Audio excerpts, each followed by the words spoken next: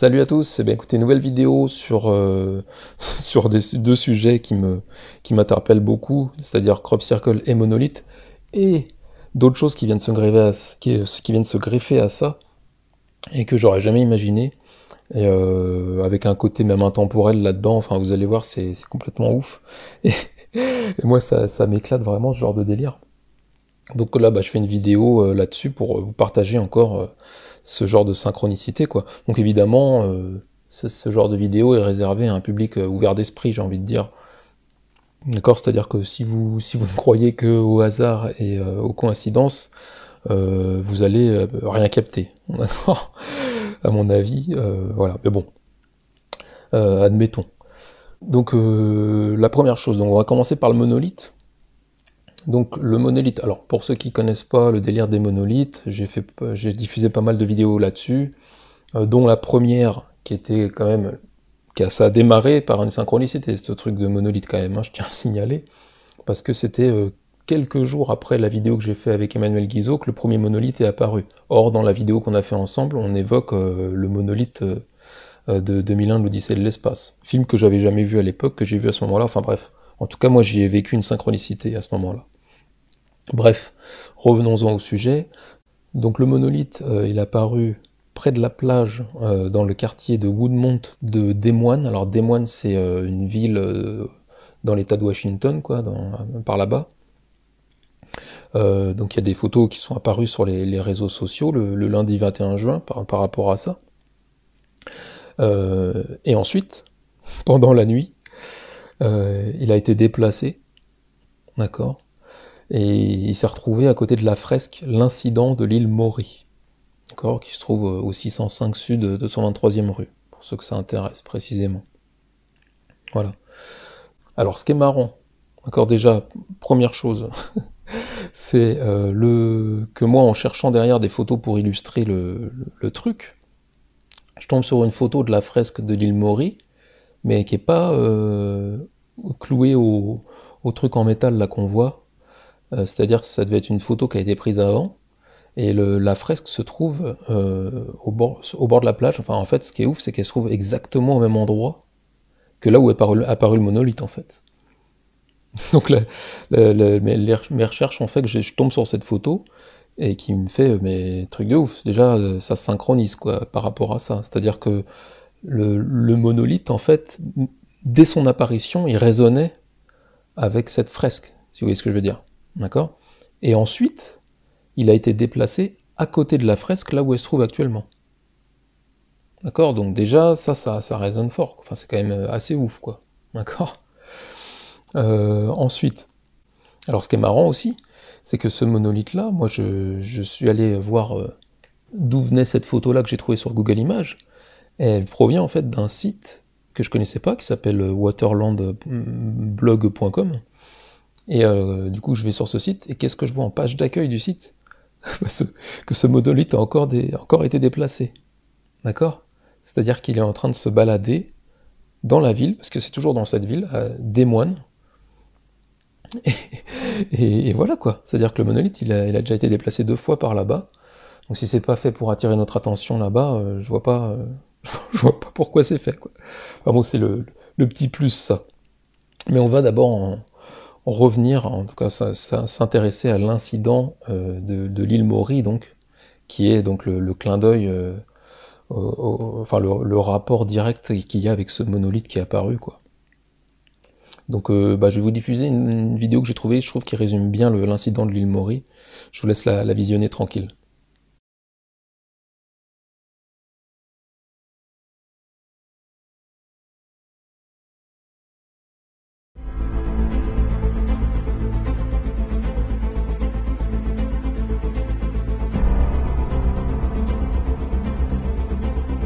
Do you like unsolved mysteries? Maybe a government cover up with an FBI agent relentlessly seeking the truth.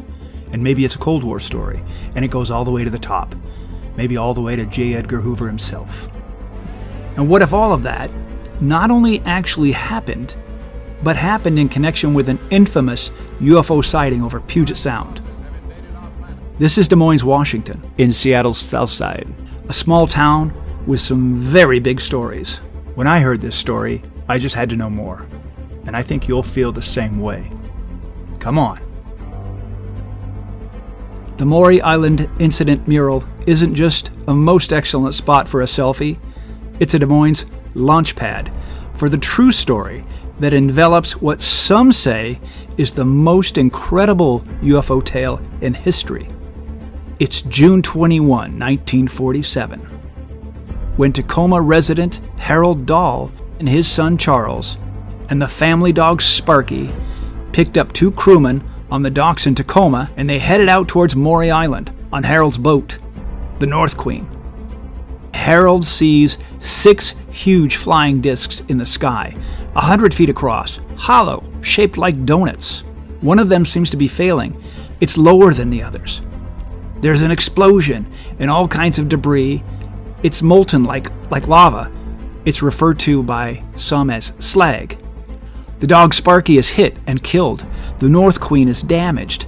Some slag burns Charles on his arm. They're so frightened that they run the boat aground on the nearest land, the beach on Maury Island, and they hide from the raining fire beneath some cliffs until the saucers go away. But none of that is the weird part, because on the very next day, a man in black confronts Harold.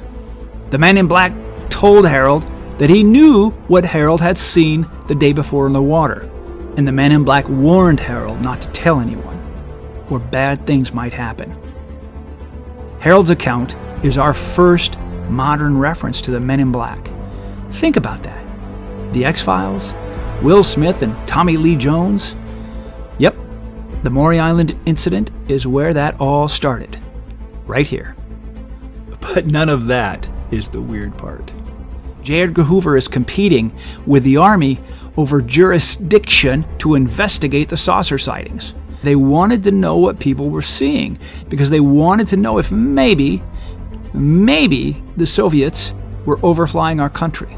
The Army assigns two intelligence officers, former World War II pilots, to investigate Maury Island Captain William Davidson and Lieutenant Frank Brown. On July 31st, 1947, the two intelligence officers actually fly to McCord Field in Tacoma in an Army surplus B 25 bomber that they pilot.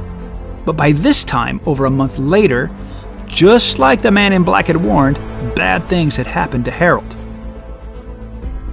The two intelligence officers, they take samples of the slag, manifest it as top secret cargo, and store it inside the bomber's navigator's kit. Tragically, Captain Davidson and Lieutenant Brown perish when the B 25 spontaneously and inexplicably catches fire less than one hour into the flight. Now, here is where it gets twisted. Harold is so upset about all the bad things that have happened, he decides he's going to make up a new story. He's going to tell the whole world that he made the whole thing up that he's the biggest liar that ever lived, because he'd rather be known as a liar than face more ridicule. That's the story. Don't know what to believe? Come to Des Moines and see for yourself. For more must see Seattle Southside scenes, go to seattlesouthsidescenes.com. Voilà, donc pour résumer, euh, cette peinture, donc ça, représente euh, bah, la rencontre qu'il y a eu euh, avec un ovni en 47, d'accord? Donc il y a deux hommes qui affirment que plusieurs objets volants non identifiés sont apparus et qui ont commencé à, à montrer des débris. D'accord? Ils ont affirmé également avoir reçu des menaces d'hommes en noir après les observations. D'accord? Et euh, ensuite, le couple a affirmé que ces événements avaient eu lieu le 21 juin 47. Donc le même jour où le, bah, mystérieux monolithe est, apparu à, Des Moines, là, euh, 74 ans plus tard. D'ailleurs, ce qui est marrant, ce que mentionne le site euh, de, de JP, euh, qui a eu ses initiales apparues en crop circle, là, Euh, ce, qui, mentionne, qui est marrant, et je le dis parce que y en a plus d'un qui ça va parler, c'est que euh, on, a, le 11-11 ici dans les dates, d'accord? 1947, d'accord? Et 1947 pour aller à 2001, c'est 74 ans, Donc on a 47 et 74, Donc déjà c'est symétrique, mais en plus c'est 11-11, c'est 4 plus 7, 11. D'accord? C'est le petit clin d'œil à 11-11.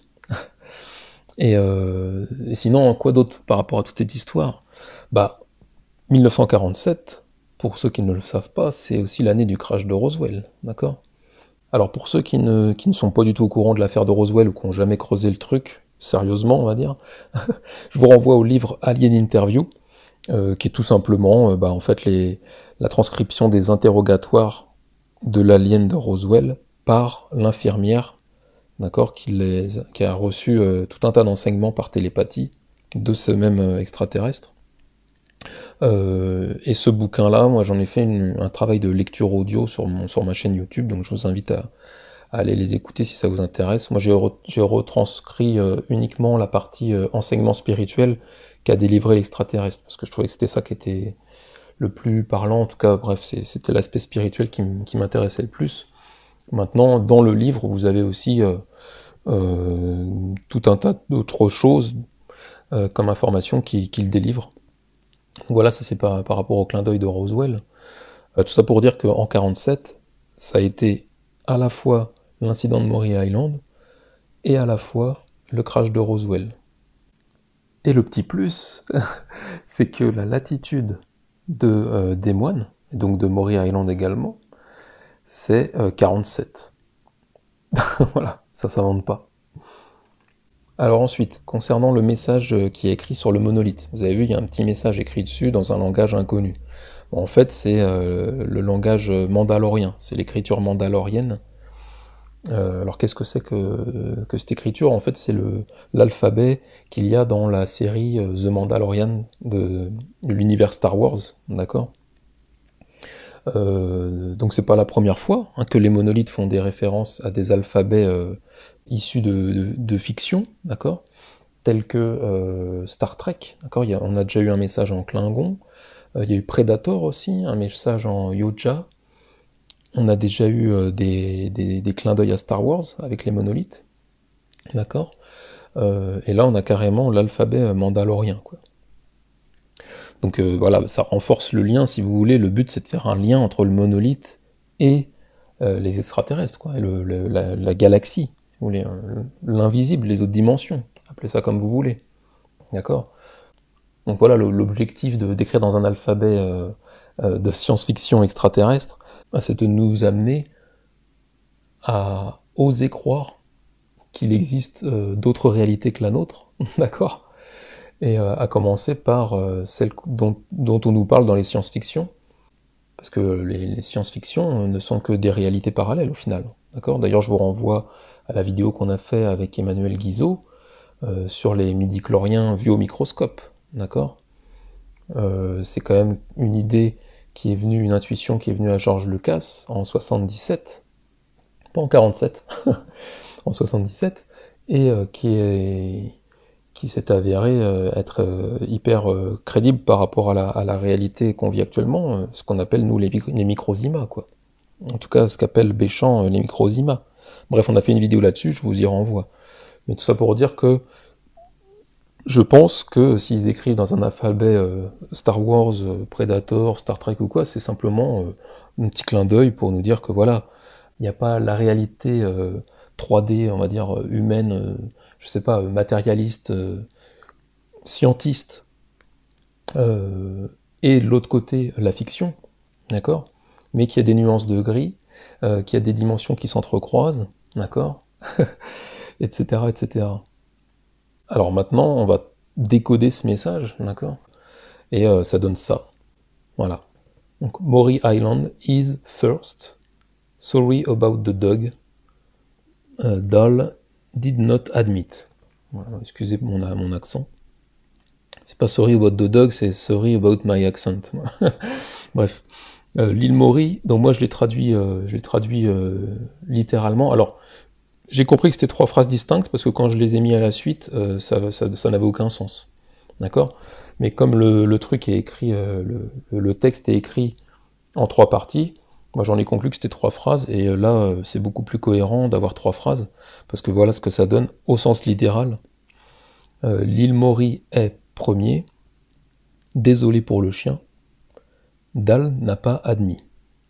on va dire, mais c'est quoi ce bordel? Alors, l'île Maury est premier. Alors, moi, ce que je vois dans, cette phrase, c'est euh, bah, l'île Maury est le premier contact. D'accord?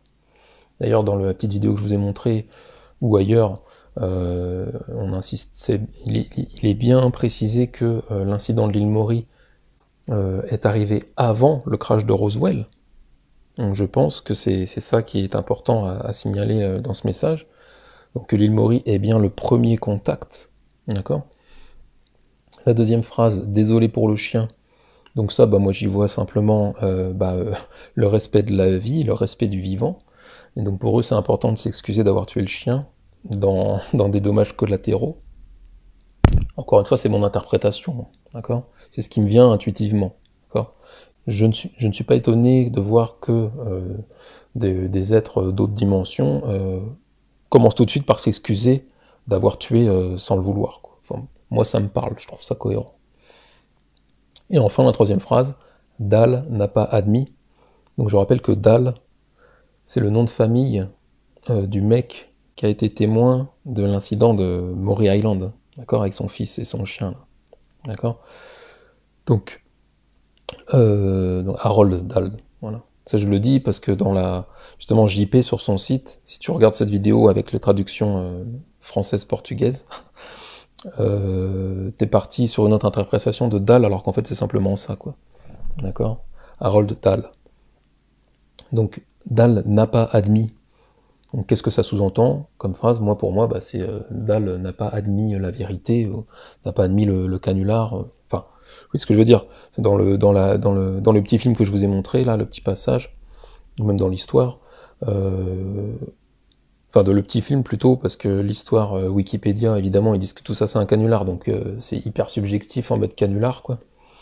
Alors que là, dans le film, ça reste ouvert, et ils expliquent bien que, voilà, Harold Dahl, en fait, il a dû revoir son discours, soit par la pression, ou soit parce que finalement, il a lâché l'affaire, quoi. Ça, ça, il, il, en avait marre de passer pour un dingue, quoi.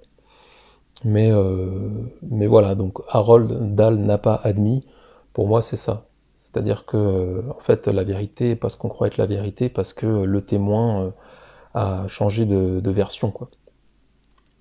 Voilà comment je traduirais ce message à ma sauce, d'accord Alors maintenant, vous allez me dire, oui, mais quel rapport avec le crop circle? Parce que c'est bien mignon, là, nous parle du monolithe depuis tout à l'heure. Bon, il y a des synchros sympas, et on apprend des choses et tout, ok Mais euh, on voit pas le rapport avec le crop circle. J'y viens. Alors déjà, ce crop circle, il est donc apparu le même jour. Si c'est pas synchro, ça Ok, donc le 21 juin, solstice. Et en plus de ça, on va aller plus loin. Euh, c'est que ce crop circle, il a pour latitude 51. Euh, D'accord? Et rappelez-vous, tout à l'heure, le monolithe avait pour latitude 47. D'accord? Je vous avais expliqué que euh, la latitude de la ville de Des Moines et donc également de l'île Maury était 47, et donc ça résonnait avec 1947, euh, aussi bien pour l'incident de l'île Maury que pour Roswell, etc. Et la latitude du crop circle, elle est, elle, de 51. Donc on, a 47 d'un côté, 51 de l'autre. Est-ce que ça vous, ça vous rappelle pas quelque chose, ça? Allez, je vous donne un indice. Regardez cette photo. Ça, ce mec-là, ça vous parle? Ça vous parle ou pas? Rappelez-vous la vidéo que j'ai faite sur les Village People et l'effet Mandela. Il n'y avait pas que l'effet Mandela. D'accord? Ce mec, ce sixième mec des Village People dont personne ne se souvient, et qui est pourtant bien écrit dans l'histoire, et qui est d'ailleurs euh, habillé en militaire. C'est quand même marrant que le, sixième qu'ils ont rajouté, euh, enfin, ou via un croisement temporel, vous verrez la vidéo, euh, soit en militaire. Ils auraient pu mettre un costume de clown, ils auraient pu le déguiser en, je sais pas, en cheminot, euh, en boulanger, en ce qu'on veut. Non, ils ont choisi un costume de militaire. C'est marrant, ce, clin d'œil au, pouvoir militaire, quoi. Eh ben, rappelez-vous ce qu'il y avait comme bug dans la matrice par rapport à ce mec. Alors ensuite, par rapport pour revenir au Village People, ce mec euh, que dont personne ne se souvient, mais qui est bel et bien dans l'histoire, d'accord, euh, s'appelle Alex Braille. Alors, on va regarder qui c'est sur Google, d'accord? Moi, j'ai retrouvé qui c'était parce que j'ai cherché le truc, mais maintenant, on va, là, c'est quelque chose que tout le monde peut faire, quoi. Vous tapez le nom de ce mec sur Google, et vous allez voir le deuxième délire que j'ai vécu à travers tout, ce bordel de Village People, c'est que ce, mec, euh, là, par exemple, il y a Wikipédia qui sort direct. Alors, vous avez Wikipédia en français, et ensuite Wikipédia en anglais. Alors, vous allez me dire, bah, on s'en fout, peu importe, de toute façon, c'est juste la traduction de l'autre. Eh ben non Regardez, c'est ça le, bug dans la matrice que, que j'ai vécu juste après. Et que c'est pour ça que je fais cette vidéo, parce que je, le, comment dire, c'est quelque chose que y a, c'est pas partagé ailleurs ce délire-là, d'accord? On parle d'effet Mandela, mais là ça va plus loin. C'est ce bug dans la matrice. C'est euh, que là, euh, sur Wikipédia anglais, non, sur Wikipédia français, il y a marqué qu'il est né le 12 avril 1947. Alors que Wikipédia anglais, il y a marqué qu'il est né le 12 avril 1951. C'est-à-dire que la date de naissance n'est pas la même. Selon la traduction, ça n'a aucun rapport. Depuis quand il y a un décalage horaire de 4 ans entre l'Angleterre et la France, ou les États-Unis et la France? Ça n'a aucun sens. D'accord? Et c'est même pas que dans Wikipédia d'ailleurs ce bug. Regardez, Wikimonde, né le 12 avril 1947 à New York. Alors que en dessous, IMDB, tac, Alex Briley was born on April 12 1951. c'est pas ouf ça? C'est-à-dire que sur un site, sur, certains sites, il a 70 ans, et sur d'autres sites, il a 74 ans. Qu'est-ce que c'est que ce délire? Alors franchement, c'est pas ouf. C'est-à-dire qu'on a la réponse du rapport entre le crop circle et le monolithe dans ma vidéo précédente. En tout cas, moi, c'est là que je la trouve. C'est juste une petite euh, synchro qui vient se greffer euh, pour rajouter un côté intemporel pour nous dire oui, il y a bien un rapport entre les deux. Enfin, moi, ça, je ressens la vérité à travers ça, si vous voulez. Vous pouvez me prendre pour un fou si vous voulez, mais je le partage. Après, vous en faites ce que vous voulez. Donc voilà, je voulais finir là-dessus. Je crois que j'ai tout dit. Je vous laisse revoir la vidéo si vous avez envie. Je vous laisse aller voir la vidéo sur les Village People, euh, le, bug des Village People, le passé modifié là, pour ceux qui l'ont pas vu. Et puis bah, je vous laisse vous amuser avec tous ces déclics, toutes ces synchronicités, tous ces trucs improbables. Parce qu'encore une fois, euh, le but de tout ça n'est pas de nous faire peur. D'accord? Je suis convaincu que c'est de oser nous ouvrir euh, à d'autres réalités. D'accord Plutôt que d'en avoir peur et de se faufiler dans, ces manuels scolaires. Voilà. Allez, j'en ai assez dit. Je vous embrasse. et je vous dis bah à la prochaine. Alors un dernier truc qui vient se greffer à la fin, comme d'hab, regardez le titre euh, du fichier euh, audio là, euh, de mon enregistrement. Regardez, le dernier que j'ai greffé là dans le montage à la fin en parlant du 5147. voilà, c'est le, la cerise sur le gâteau. Allez, bise